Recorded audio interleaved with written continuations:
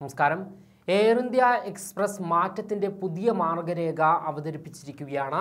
ആഭ്യന്തര വിമാന സർവീസുകൾ നടത്തുന്ന എയർ ഏഷ്യയെ ഗൾഫിലേക്കും തെക്ക് കിഴക്കൻ ഏഷ്യൻ രാജ്യങ്ങളിലേക്കും രാജ്യാന്തര സർവീസ് നടത്തുന്ന എയർ ഇന്ത്യ എക്സ്പ്രസിൽ ലയിപ്പിക്കുന്നത് വഴി വലിയ വളർച്ചയ്ക്കാണ് വഴിയൊരുങ്ങുന്നത് എന്ന് അധികൃതർ അറിയിക്കുന്നു. ഇതിനായുള്ള മാർഗരേഖ എയർ ഇന്ത്യ എക്സ്പ്രസിന്റെയും എയർ ഏഷ്യയുടെയും മാനേജിംഗ് ഡയറക്ടർ അലാഖ് സിംഗ് കഴിഞ്ഞ ദിവസം രണ്ട് വിമാന കമ്പനികളിലെയും മുഴുവൻ ഉദ്യോഗസ്ഥരുമായും തത്സമയ സംവാദത്തിൽ പങ്കുവച്ചിരുന്നു.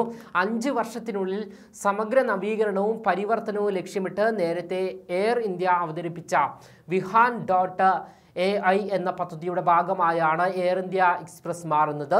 പുതിയ സാധ്യതകൾക്ക് വഴി തുറക്കുകയും ഊഷ്മളവും അർത്ഥവത്തവുമായ ബന്ധങ്ങൾ സൃഷ്ടിക്കുകയുമാണ് മാർഗരേഖയുടെ അടിസ്ഥാനം എന്ന് മാനേജിംഗ് ഡയറക്ടർ അലോക് സിംഗ് പറഞ്ഞു.